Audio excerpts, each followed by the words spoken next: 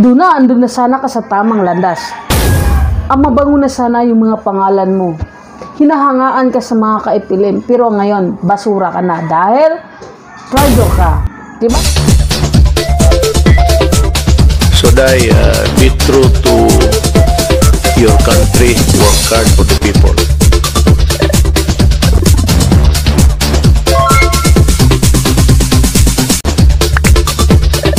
Ah, ito naman tayo ngayon, no? So, good morning sa lahat ng mga OFW kung saan sulok man kayo ngayon naroroon. Ah, sa lahat ng mga kabataan na patuloy nagsubaybay sa ating mga lahat ng mga senior citizen na sobrang pagmamahal nila kay FLM.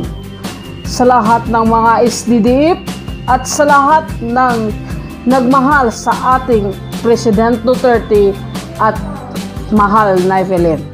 No, sa mga bagong pasok sa channel ko, magpakilala muna ako sa inyo. Ako pala si Angga, kilala sa pangalang Busli, Bisayang Dako, at maraming mga bulol.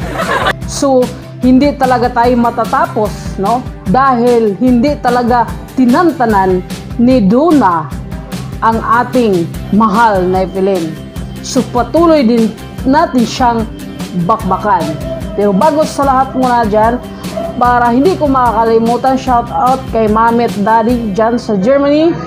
A shout out kay Doktora Birubi dyan sa FLM Canada. Shout Shout out kay Minda Pitalana, Jean Cap, Jose de la Cruz, Rosa Busanya, Marnie Red at Tuna Vincent FLM USA. Now mga kulid-sulid ko mga katropa, So tay sunglass kasi natatakot ako kay Duna. Na pag uwi niya, takot na takot talaga ako dahil ang mangyayari sa kanya sa pag uwi niya, ito siya. Mm. Isa na siyang manananggal. So, dapat talaga matakot ka. No, di ba? So, ngayon, ang sabi ni Duna doon sa video niya, ah, Aduna, bakit ka naman namin papaniwalaan? Sa mga paninira mo at katsismisan sa mga fake news mong pinapakalat sa kabalbalan mo kay kay Doktora Early Anchita na malapit kay Philip. Siyempre, doon kami maniwala sa kanila. At doon din kami maniwala sa kapatid niyang si MCM. Bakit kami maniwala sa inyo? Kaya ka nga galit, di ba? Kay Epilim dahil ando na ang uh, channel na si Kiyama binigay ni Evelyn. Kaya nagdoon na talaga nagsimula ang galit mo dahil inggit ng inggit ka namatay ka sa inggit dahil hindi ka pinapansin ng mahal na Evelyn. Di ba? Kahit anong pasikat mo, papansin mo na uh, kinampihan mo siya, ah, nagdepender ka sa kanya, hindi ka napansin ni Epelim. Dahil yun, alam ni Epelim, nakaplastikan ka. Narandaman niya na traitor ka. Bakit naman kami maniwala sa iyo? Diba? Siyempre, maniwala kami doon sa malapit ni Epelim. Alangan naman magsisinungaling, magsisinungaling si Doktora Early Anchita, magsisinungaling, magsisinungaling si, si MCM, Di ba? Hindi talaga sila pwedeng magsisinungaling. Dahil, ah, pangalan nila ang nakasalalay nito. Hindi, kas, hindi kaya sa'yo. Ubod ka kasinungaling, plastic, chismosa, hindi ka na nagti, hindi ka na tumigil sa paninira ni film, di ba? Ano-ano ng mga pinapakita mong uh, birth certificate kuno na galing sa Bagyo na naging Francisco. Long bump paper pa ang gamit. Di ba? Ano bang nangyari sa iyo, Duna? Bakit sobrang galit mo kay Pilim? Ano bang ginawa niya sa iyo? Una, ang ginawa ni Duna, ang ginawa ni Ipilim kay Duna, hindi siya pinansin, silos. Alam mo bakit? Hindi daw siya nagsilos kay attorney, no? Kay attorney, attorney, attorney Juni, hindi daw siya nagsiselos. 'Di ba? Ang sabi niya.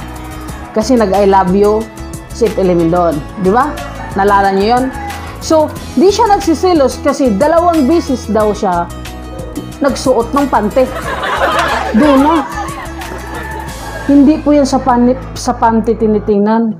Kahit anong suot mo na panty, kahit dalawang bisis, tatlong bisis, amoy patay ka pa rin. Ha? Alam niyo doon na, hindi ka talaga mapansin ni Pilim. Hindi naman kasi sa panty yan tinitingnan. Baka butas-butas din ang panting suot mo. Kaya hindi ka pinansin ni Pilim. Doon na, mukha yan, tinitingnan. Paano, paano ka mapansinin ni Pilim? Eh nga, itsura mo, hindi mo nga mapaalagaan. Kung gusto kang pansinin ni Pilim, alagahan mo itsura mo. Matulog ka. Matakot siyempre siya si Pilim. Kaya isa kang manananggal. Isa kang zombie. Kaya talaga, matatakot siya at hindi ka mapapansin. Imbis, papansinin ka. Sana niya, mawala na lang yon Di ba? Sabihin mo pa, dalawang bisis ka nagpalit ng pante. Bakit? Bakit sinasabi mo yun? Hindi ka nagsisilos kay attorney. Kasi marunong ka mag-bis ng isang araw, dalawang bisis. Isang araw, dalawang bisis ka lang mag-bis ng panty. Nako! Talagang hindi ka papansinin, mangangamoy ka talaga yan, Dona. Alam mo, wala talaga ng kwenta ang ating binablog dito. Kasi puro tayo Dona. Kasi puro naman din siya panglalait kay Epilim. Ngayon dumating sa punto ang malapit, no? Malapit kay Epilim na pamilya. Nagawa pa niyang gawaan ng istorya. Di ba? Anong kasalanan ni Doktora Early Anchita sa'yo? Di ba? Bakit galit na galit ka? Ha? Bakit din ka galit na galit sa lahat ng nag-defenders kay Epilim? At bakit ka galit kay Epilim? Ano? Narip ka ba? Ay, hindi ka kasi narip. Diba? Sabi mo rapist si Epilim. Siguro kung narip ka, kung totoo siyang rapist, siguro mabuhayan ka ng loob. Di ba? Alam mo to na, no? Ah, gusto na kitang tigilan, pero kailangan ka matauhan. Nasa pamaling, ano ka, maling pamaraan. Ha?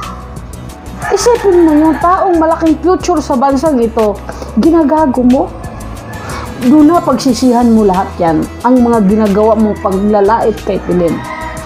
Ah, lahat-lahat na panglalait mo na sa bandang huli ang pagsisisi. Doon na, andun na sana ka sa tamang landas. Ang mabango na sana yung mga pangalan mo. Hinahangaan ka sa mga kaipilim, pero ngayon, basura ka na dahil traitor ka. Diba? Dahil ganun mo, uh, binaboy si Pilim. Diba? Isa kang surot na biglang nangangagat, pero pag mahuli, pisat ka agad. Diba, Duna? Ah, ah, ah, matulog ka, mag-isip ka, baka magising ka sa tama. Hindi pa ang huli ang lahat. Pero hindi ko alam kung mapapatawad ka pa ba ng mga FLA family. Sa tingin ko, mahirap yon. Pero Duna, kung pag-usapan natin ang election dito, ang pamulitik dito, hindi po ako namulitik. Ah, dahil ah, magkaiba yung politics at saka pandemic hero. Nakiki ang pandemic hero, talaga, walang plano yun papasok sa politiko. Kung papasok man sa politiko, o di magpapasalamat ako. Dahil ang 6 million subscriber ko, sa kanya nakasalala yun, sa isang ko. At binalag ko na kahapon yun. At ilalagay ko na sa link to bukas, no? Para ma-subscribe sa lahat ng mga kaipilim. Dahil balak nito, bago sa election, yun ang gagamitin ko. Para alam nyo kung saan napunta ang mga SDDF, saan sila nag-subscribe.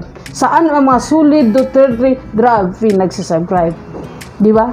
Tinago ko yan dahil gusto ko protektahan kami. Maprotektahan kami lahat. Pero baguhin ko yung pangalan na yon, lagyan kong SDDF, no? Solid Duterte Drug Free. Ngayon, gusto mo doon na ang lahat ng mga Marcos supporter, gusto nyo ang mabantili kami sa inyo, no? Pa- palayasin nyo yung dona na yan. Paalisin nyo yan dahil papalitan namin sa pwesto ang BBM nyo. Dahil hindi na maganda ang panglalait niya. Di ba? Hindi. Nagkakamali ka doon na ng ah, kinakalaban. Sa totoo lang. Nagkakamali ka. Wala ka talagang utak kahit kailan. So kung gusto nyong manalo, ulit yung mga Marcos, paalisin nyo yan si Duna kung saang poder kayo. Kung di nyo paalisin, panggap kayong mga Marcos. Dahil, ang sibig sabihin, ginamit si Duna sa mga dilawan para magkasira-sira ang Marcos. Pero wala na kaming pakialam doon. Ang importante, ang importante do ito, ang aming pandemic hero. Wala kaming pakialam sa mga politics.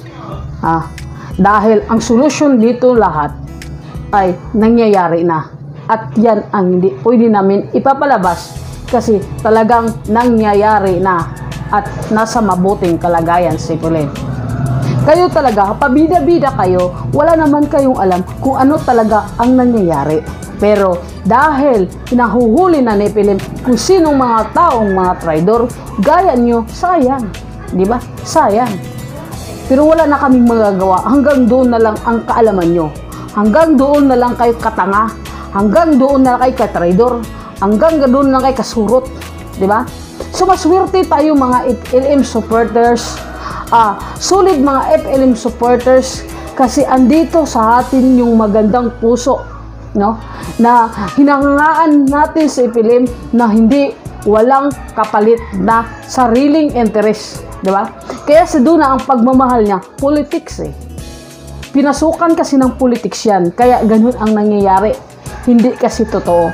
Pero tayo, nagmahal tayo kay Ipilim na sa puso natin na walang kapalit ni kahit piso. Di ba? Ang 10% ko mga katropa binigay sa Panginoon lahat ng income ko. Subukan nyo magbigay ng 10%. Kung hindi nyo kaya sa 10%, kahit magkano na lang.